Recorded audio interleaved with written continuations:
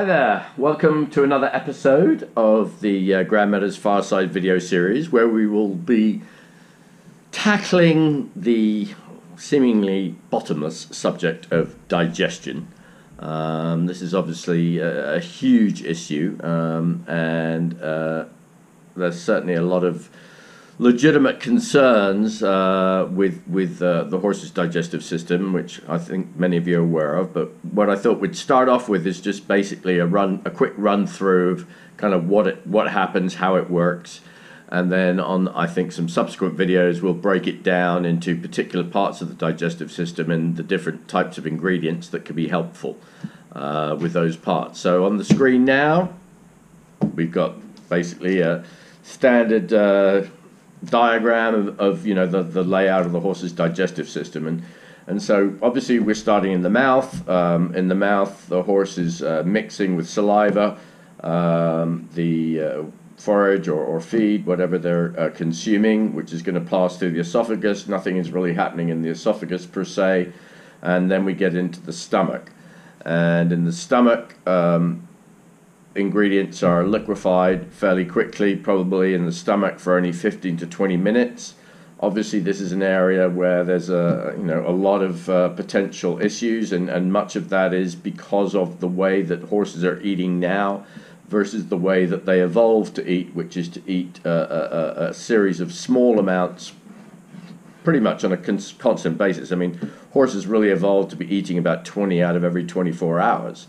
Um, and, and, generally speaking, you know, they're not doing that. And, and a lot of times they're getting large amounts of feed, uh, uh, you know, on an inconsistent basis, which is, is really counter uh, to the way that, that, that stomach was designed. However, uh, you know, it is what it is. Um, so hydrochloric acid is, is produced, uh, and there are also some enzymes uh, that are produced that start the uh, digestive process. And obviously, the big f- concern here is with those uh, erratic deliveries of feed, we can get this pooling of hydrochloric acid uh, in the stomach, which, which can result in, in uh, the formation of ulcers in the non glandular or the upper part of the stomach. But again, we'll get into those in more detail in a subsequent video. So, after the stomach, it's going to pass into the small intestine.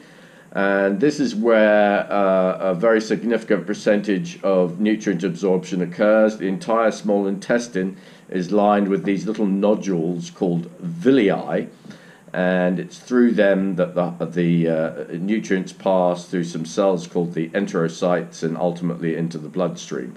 So, uh, a lot of uh, nutrients, uh, aminos, uh, certain minerals, vitamins. Um, are, are uh, absorbed in the small intestine. Uh, and then we get into the cecum.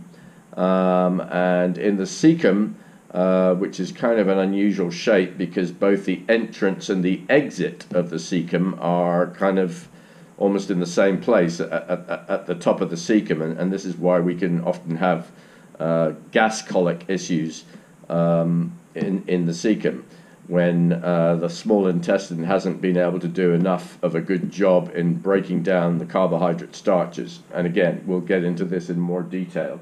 Um, but certainly, a, a, very considerable amount of nutrient absorption is occurring in the small intestine. Now we get into the uh, after the cecum, where uh, basically that bacterial uh, uh, di- digestion process is, is really starting there. That's where we we have you know this population of benef- beneficial bacteria, uh, and they're going to be starting to break down the more indigestible fibrous parts of the forage. Um, this process continues in the large colon, um, and in the large colon, that's where, for example, you'll find um, the absorption of many of the B vitamins. Um, you'll find uh, the production of the volatile fatty acids, which is critical to the horse's energy. Um, and uh, pretty much after the uh, the uh, ingredients uh, are uh, passing out of the large colon into the small colon, there really isn't much more nutrient digestion that's going to occur basically in the small colon. it's going to be taking moisture out of the remainder uh, of the feed that, that's reached the small colon, and then subsequently, obviously, we hopefully produce uh, nice uh, fecal balls, which which pass into to the rectum and, and out of the anus. So that is um, basically, you know, how it all works. Um, uh, you know, we're faced with with modern horse management. You know, again, the challenge is, is so much about that horses evolved, uh, wandering over a wide area, uh, eating small amounts of a number of different plants, and, and, and that's why they were able to survive so well. And, and we really have kind of changed that dynamic. And this is where, obviously, uh, dietary supplements for horses uh, can offer significant benefits um, because you know the horse isn't necessarily getting all of those things from the pasture or, or, or even from a grain product. Um, and we you know we, we we definitely find that there's a benefit um, whether it be because of the way that horse is being used, because obviously if you're doing some kind of a high performance riding discipline, that's placing a great deal more stress on the horse's uh, system, uh, and, and, that's where you know some of these nutraceuticals can come into play. Um, obviously, all of the different digestive aids uh, are there, you know, for first of all the stomach, for the small intestine, and also for the large intestine. But as I said, we'll sort of get into those in a little bit more detail. We'll break it down, but uh, just as sort of an initial primer, I just wanted to go over the, you know, basically how it all works. Uh, and then we'll continue from there. So, uh, episode two on digestion will be coming up soon, and thanks for watching.